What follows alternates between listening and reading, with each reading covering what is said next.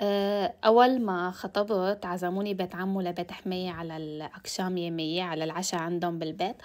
وبعد ما خلصوا رفعوا إيديهم كلياتهم وقالوا ثلاث مرات الحمد لله الحمد لله الحمد لله. بعدين قالوا الحمد لله الذي أطعمنا وسقانا وجعلنا من المسلمين. هيدي قالوها هيك بالعربي. بعدين قالوا دعاء بالتركي. أنا بوقتها ما فهمت منه غير هيك.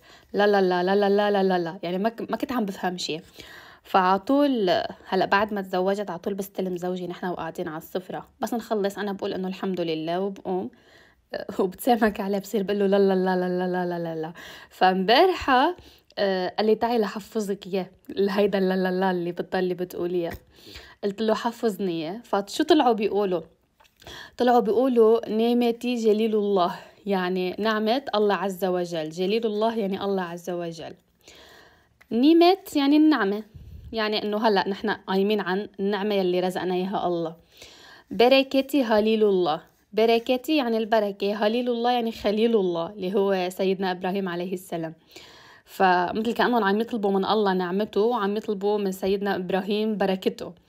شفاعت إلى يا رسول الله يعني شفع لنا يا رسول الله صلى الله عليه وسلم. شفاعت يعني الشفاعة إيلة هو فعل إيلة ما بيجي مع الشفاعة. يعني مثل رزقنا الشفاعة أو أعطينا الشفاعة يا رسول الله. مثل شفع لنا يعني يا رسول الله؟ بعدين بيقولوا geçmişlerin ruhuna يعني لروح يلي ماتوا لروح يلي غابوا.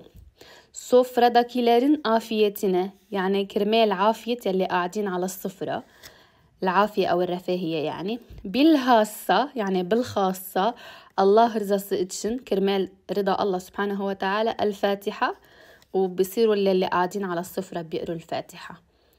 فما بعرف إذا من اليوم ورايح بس ننعزم على العشاء ويرفعوا إيديهم ويقولوا الدعاء. حصير أفهمه لأنه حفظني إياه ولا حيضل معلق براسي بالأخير. لا لا لا لا لا لا, لا. سبحان الله ثقافات تانية عادات تانية. بس حلو إنه نتعلم أشياء تركي من خلالهم. ودعاء حلو.